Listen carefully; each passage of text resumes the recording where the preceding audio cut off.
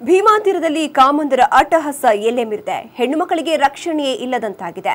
ಇಲ್ಲಿ ನಡೆದ ಒಂದು ಅಮಾನವೀಯ ಘಟನೆಯಿಂದ ಇಡೀ ಮುದ್ದೆ ಬಿಹಾಳವೇ ಬೆಚ್ಚಿ ಬಿದ್ದಿದೆ. ಈ ಕುರಿತ ಒಂದು ವರದಿ ಇಲ್ಲಿದೆ. ಭೀಮಾ ತೀರದಲ್ಲಿ ನಿಲ್ತಿಲ್ಲ, ಕಾಮಾಂಧರ ಕಾಮಚೇಷ್ಟೆ.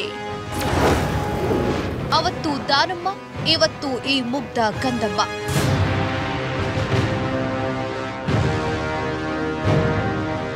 ಅಪ್ರಾಪ್ತರ ಮೇಲೆ ಕಾಮಾಂಧರ ಅಟ್ಟಹಾಸ ಎಲ್ಲೆ ಮೀರಿದೆ.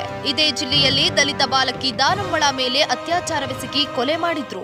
ಇದೀಗ ಇಲ್ಲಿನ ಮುದ್ದೇಬಿಹಾಳ ಪೊಲೀಸ್ ಠಾಣಾ ವ್ಯಾಪ್ತಿಯಲ್ಲಿ ನಾಲ್ವರು ಕಾಮುಕರು ಶಾಲೆಗೆ ತೆರಳುತ್ತಿದ್ದ ಪ್ರಾಪ್ತ ಬಾಲಕಿಯ ಮೇಲೆ ಅತ್ಯಾಚಾರಕ್ಕೆ ಯತ್ನಿಸಿದ್ದಾರೆ. ಈ ವೇಳೆ ಬಾಲಕಿ ಕಿರುಚಾಡಿದ್ದಾಳೆ. ಕಿರುಚಾಟದ ಶಬ್ದ ಕೇಳಿಸಿಕೊಂಡ ಸುತ್ತಮುತ್ತಲಿನ ಜನ ಸ್ಥಳಕ್ಕೆ ಬಂದಿದ್ದಾರೆ. ಜನರನ್ನ ಕಂಡ ಕೂಡಲೇ ಕಾಮುಕರು ಅಲ್ಲಿಂದ ಎಸ್ಕೇಪ್ ಆಗಲು ಯತ್ನಿಸಿದಾಗ ಓರ್ವ ಕಾಮುಕ ವೀರೇಶ ಕಂದಗಲ್ಲೆಂಬಾತ ಸ್ಥಳೀಯರ ಕೈಗೆ ಸಿಕ್ಕಾಕೊಂಡಿದ್ದಾನೆ. ಕೂಡಲೇ ಸ್ಥಳೀಯರು ಆರೋಪಿಯನ್ನ ಮುದ್ದೇಬಿಹಾಳ ಪೊಲೀಸರ ವಶಕ್ಕೆ ಒಪ್ಪಿಸಿದ್ದಾರೆ. ಮತ್ತೆ ಎಲ್ಲ ಎಲ್ಲ ಮನುಷ್ಯನ ಜೀವನ ಎಲ್ಲ ಒಂದೇ ಅಲ್ರಿ. ಎಲ್ಲ ಬಟ್ಟೆ ಗಿಟ್ಟಿ ಎಲ್ಲ ತೆಗೆದು ಹೋಗುದು ಎಲ್ಲ ಕುತ್ತಿಗೆ ಈಚೆ ತಾವೇನು ಇದನ್ನ ಮಾಡಿ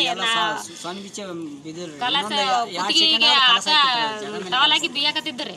ಬಿಯಾಕತ್ತನ ಅದು ನಮ್ಮ ಹುಡುಗ ಅಲ್ಲೇ ನೀರು ಕಟ್ಟಾಕತ್ತೈತ್ರಿ. ನೀರು ಕಟ್ಟನ ಈ ಬಾಳೆಗೆನ ಒದ್ರತಕತೈತಿ ಬೊಬ್ಬಟ್ಟ ಮಾಡಾಕತ್ತೈತಿ ಅಂತೇಸಿ ಬಂದ ಆರೋಪ ಹೇಳ್ಯಾನ್ರಿ. ಅವ್ರ ಅಪ್ಪಗೆ ಹೇಳ್ಯಾನ ಅವ್ರ ಅಪ್ಪ ಬಂದ್ ಕೇಸಿ ನೋಡೋಷ್ಟತಿ ಅವ್ರು ಮೂರು ಪಾರಾಗ್ಯಾರ ಮೂರು ಪಾರಾಗ್ಯಾರ ಒಬ್ಬ ಕುತ್ತಿಗೆ ಈಚೆ ಕೇಸ್ ಮ್ಯಾಲೆ ಕುಂತು ಕುತ್ತಿಗೆ ಹಗ್ಗ ಟವಲಾಗಿ ಬಿಯಾಕತ್ತಿದ್ದೀನಿ ರೀ ಬಿಯಾಕತ್ತನ ಬಂದ್ ಕೇಸ್ ನಮ್ಮ ಮನುಷ್ಯ ಬಿಡಿಸಿ ಅವನು ಕೋಸ್ ತಗೋದ ಆ ಹುಡುಗಿನ ಎಳ್ಕೊಂಡು ಹೊಟ್ಟಿದ್ರಿ ಎಳ್ಕೊಂಡು ಹೋಗಿ ಅಲ್ಲಿ ಬಾಳಿ ಗಿಡಕ್ಕೆ ಕಟ್ಟಕತ್ತಿದ್ರು. ಒಬ್ಬ ಬಾಯಿ ಹಿಡಿದನ್ರಿ ಏ ಒಬ್ಬ ಕೈ ಹಿಡಿದ ಒಬ್ಬ ಕಾಲು ಹಿಡಿದ ಒಬ್ಬ ಕಟ್ಟಕತ್ತಿದ್ರಿ ಆಟತಿ ನಾನು ಹಿಂಗೆ ಬೈಕಿ ನೋಡಿದ್ರಿ ನಮ್ಮ ಮಂಗಿ ನಾನು ಹುಡುಗಿ ಹಿಂಗೆ ಕೋನೆ ಹಿಡಿದ ಕೇಸಿ ಒಳಗೂ ಮುಳ್ಳು ಹಚ್ಚಿದ್ರಿ. ಮುಳ್ಳು ಎರಡು ಕಾಲಿ ಹಿಂಗೆ ಮುರಿಯನ ಅದು ಮೂಳು ಪಟ್ ಪಟ್ ಅಂದ್ಬಿಡಿದ್ರಿ ಅದು. ಆ ಆವಾಜ್ ನೋಡೋಣ ಅವ್ರು ಓಡೇ ಒಬ್ಬ ಸಿಕ್ಕನ್ ಇನ್ನು ಸುದ್ದಿ ತಿಳಿಯುತ್ತಿದ್ದಂತೆ ಸ್ಥಳಕ್ಕೆ ಎಸ್ಪಿ ಕುಲದೀಪ್ ಕುಮಾರ್ ಜೈನ್ ಹಾಗೂ ಇತರೆ ಅಧಿಕಾರಿಗಳು ಘಟನೆ ಬಗ್ಗೆ ಹೆಚ್ಚಿನ ಪರಿಶೀಲನೆ ನಡೆಸಿದ್ದಾರೆ.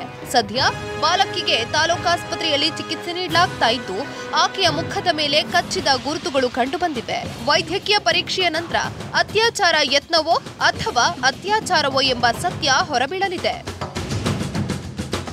ಘಟನೆ ಖಂಡಿಸಿ ಸ್ಥಳೀಯರು ಮುದ್ದೇಬಿಹಾಳ ನಾರಾಯಣಪುರ ರಸ್ತೆ ಬಂದ್ ಮಾಡಿ ಪ್ರತಿಭಟನೆಯನ್ನ ನಡೆಸಿದ್ರು. ಅಲ್ಲದೆ ಟೈರ್ಗೆ ಬೆಂಕಿ ಹಚ್ಚಿ ಕೂಡಲೇ ಪರಾರಿಯಾಗಿರುವ ಆರೋಪಿಯನ್ನ ಬಂಧಿಸಿ ತಪ್ಪಿತಸ್ಥರಿಗೆ ಕಠಿಣ ಶಿಕ್ಷೆ ನೀಡಬೇಕು ಎಂದು ತಮ್ಮ ಆಕ್ರೋಶವನ್ನ ಹೊರಹಾಕಿದ್ರು.